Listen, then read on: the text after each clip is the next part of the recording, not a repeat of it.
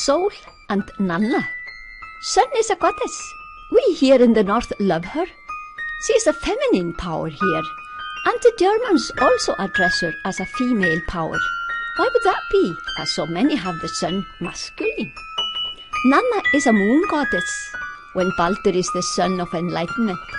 Then sun is a masculine deity, and moon a female deity.